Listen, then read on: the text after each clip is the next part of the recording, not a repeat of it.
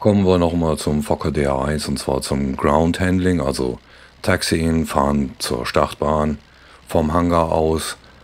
Und hier mal gezeigt, das ist jetzt so ein bisschen am Boden mit dem DA1 durch die Gegend gefahren.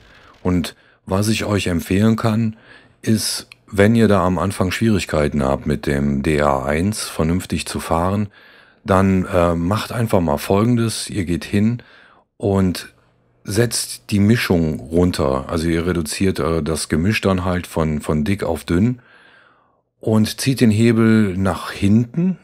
Das kann dann irgendwann zur Folge haben, dass die Maschine auch ausgeht, dass der Motor abstirbt, so wie hier. Man hört das aber eigentlich ganz gut. Dann fängt er so ein bisschen an zu ploppern. Da sollte man dann so drauf achten. Da ist der Hebel fürs Gemisch. Und beim Start ist es ja so, dass ich den Hebel ganz nach vorne stelle beim DA1 und starte dann den Motor. Und wenn der Motor gestartet ist, dann ziehe ich das Gemisch ein bisschen nach hinten wieder damit der nicht äh, absäuft, der Oberursel. Und mit dieser Mischung kann ich natürlich auch so ein bisschen variieren dann in dem Moment, wo ich am Boden mit dem DR1 fahre, dass ich das Gemisch dann weiter nach hinten ziehe. Dann äh, zieht der Oberursel nicht so stark. Das ist übrigens hier meine Tochter, die da gerade mit dem DR1 startet. Das bin nicht ich. Sie fliegt also, macht den Start so wie hier, dass es so ein bisschen am Anfang etwas weniger Gas gibt, ist jetzt nicht so meins, aber sie macht das lieber so. Und das klappt auch ganz gut bei ihr. Und wie gesagt, also ihr könnt mit der Mischung am Boden wirklich mal rumexperimentieren, dass ihr da das Gemisch etwas dünner stellt, dann damit der Oberursel nicht zu viel Power hat, dann in dem Moment, wenn der anzieht. Und was das Fahren auf dem Boden angeht, also Klar, der DA1 ist natürlich sehr kippelig, wenn man so mit ihm durch die Gegend fährt. Da ist er schon ein bisschen gewöhnungsbedürftiger als andere Maschinen. Jetzt hier in Rise of Flight. Aber es geht auch richtig gut. Man muss sich halt mal dran gewöhnen an halt eben dieses, dieses, äh, ja, dieses kippelige von der Maschine. Aber wenn man das so einmal verinnerlicht hat, dann funktioniert das eigentlich auch mit dem DA1 ganz gut und dann kann man ja auch mal so ein bisschen einfach mal versuchen, ja, ein bisschen spazieren zu fahren mit dem DA1, um das so ein bisschen zu lernen und ein Gefühl dafür zu kriegen, wie ich den am Boden vernünftig manövrieren kann.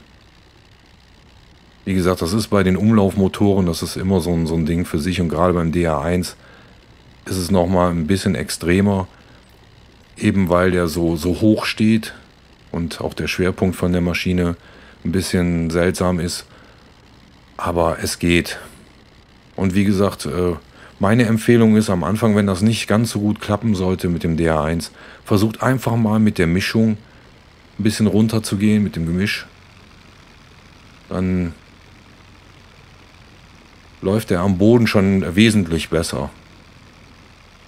Ja, wollte ich mal gesagt haben zum DA1. Das ist also auch am Boden ein bisschen speziell, das Vögelchen. Aber ist, ist machbar, ist alles in den Griff zu bekommen, wenn man so ein bisschen ausprobiert. Ja, und dann klappt das eigentlich auch einwandfrei und auch in der Luft natürlich ein Top-Ding, aber man muss halt ein bisschen mit dem DR1 muss man wirklich ein bisschen arbeiten, damit man den